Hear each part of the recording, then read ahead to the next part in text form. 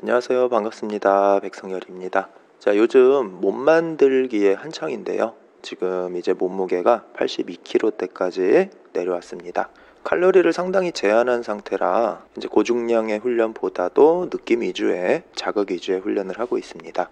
자, 오늘은 여러 가지 훈련을 했는데 그 중에서 가슴 운동, 특히나 가슴 상부 쪽 느낌 잡는 게 어려운 분들이 계셔서 집에서도 비교적 쉽게 잡을 수 있는 방법들 같이 해보면서 공유해 보도록 하겠습니다. 올바른 자극을 느끼지 못하면 효율이 매우 떨어지게 되는데요. 특히나 이제 가슴 상부 같은 경우에 어느 정도 운동 경력이 있으신 분들도 어, 느낌 잡기를 어려워하시는 분들도 계세요.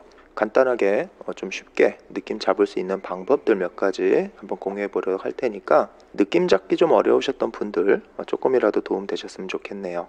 자, 벤치프레스 같은 경우엔 기본적으로 숄더 패킹이 되어 있어야 되고요. 어, 푸시업으로도 느낌을 잡을 수 있겠지만 테이블 등을 이용해서 어렵지 않게 느낌을 잡아볼 수도 있습니다.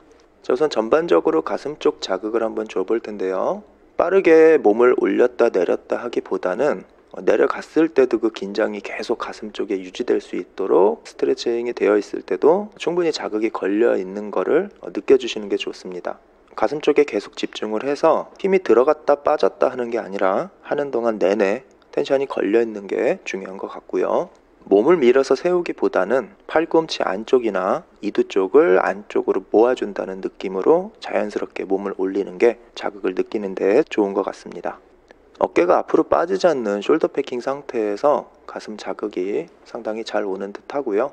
해서 느낌이 왔을 때 어, 파도 치듯이 어, 몰아치는 게 중요하고 이때 좀 힘들더라도 계속해서 속도를 유지하고 어, 깊게 그 자극을 느껴주는 게 좋은 것 같아요. 그리고 어느 정도 자극이 왔을 때는 저는 숄더 패킹을 풀어서 가슴 쪽에 최대 수축이 나올 수 있도록 진행도 하고 있고요.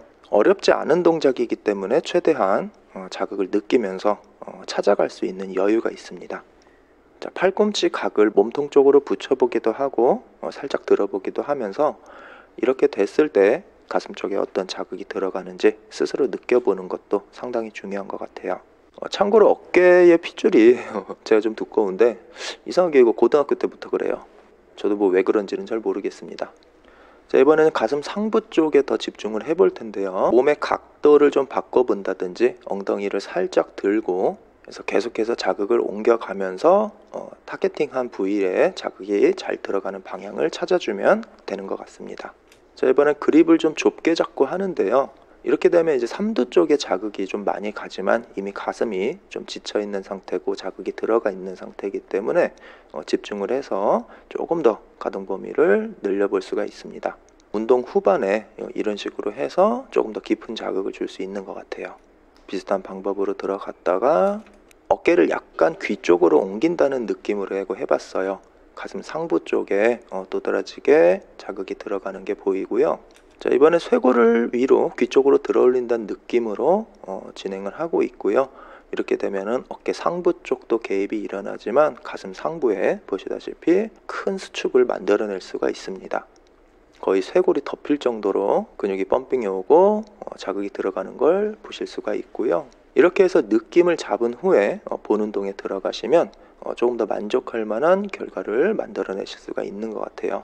조금 더 어, 자극을 주시고 싶으시면 몸을 앞으로 기울이시는 것도 좋지만 너무 기울이게 되면 어깨 쪽으로 어, 자극이 집중되기 때문에 그 적절한 위치를 찾아주시는 게 좋을 것 같습니다. 자 마지막에 최대 수축 구간을 만들어서 쪼여주고 있습니다. 어, 저 같은 경우에는 지금 어깨 쪽에 좀 문제가 있어서 어, free weight 벤치프레스 같은 동작을 하지를 못해서 어, 이런 식으로 자극 위주나 간단한 머신 운동만 하고 있고요. 이 정도만 하더라도 집에서 충분히 가슴 근육에 자극을 주고 어, 만들 수가 있는 것 같아요. 가볍게 집에서 훈련을 하시거나 느낌을 잡고 싶거나 아니면 메인 운동 전에 감각을 키우고 선피로를 주고 싶은 분들께서는 이렇게 진행하시면 좀더 어, 가슴 근육을 만드는데 도움이 될 것 같습니다. 자, 그리고 이날 뭐 여러 가지 훈련을 하면서 어, 회원분께서 질문을 하셨어요. 사실 이제 무탄 중인데도 거의 극단적인 무탄이고 지방도 거의 섭취를 하지 않고 있기 때문에 관장님은 먹고 싶은 거를 어떻게 참냐 이렇게 물어보셨는데 뭘 어떻게 참아 그냥 못 먹는 거지 버티는 거지 뭐 어, 그런데 이 마음가짐의 차이에 따라서 어, 그 차이는 좀 있는 것 같아요. 자, 어떤 생각을 가지고 어, 먹고 싶은 걸 참고 있는지 다이어트 하시는 분들 한번 들어보셔도 좋을 것 같네요. SNS 보니까 그 노숙자분한테 이렇게 뭘 드시고 도넛 같은 걸 드시고 계셔요. 그래서 이제 몰래 카메라인데 그 진행자 가가지고 자기 또 노숙자인데 배가 너무 고프다 그러니까 그 먹던 걸 나눠주더라고. 자기도 먹을 거 없으면서. 근데 그거 보고 야씨 이렇게 배고픈데 진짜 내가 그 상황이면 나는 안 먹는 거지만 그 사람 못 먹는 거 아니야. 아, 그렇죠.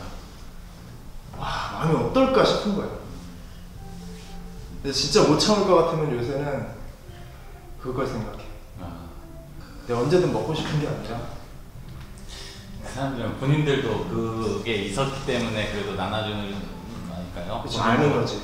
본인도 그걸 어떤 아, 건지를. 아, 이렇게 말할 정도로 음. 그 정도면은 아, 이 자리 진짜, 자기 네. 옆에 따뜻한 자리도 내주고 네. 앞에다가 그러니까 도넛 안에 몇 개 있는 거를 자기 하나 먹고 나머지 그냥 다 주더라고 이렇게.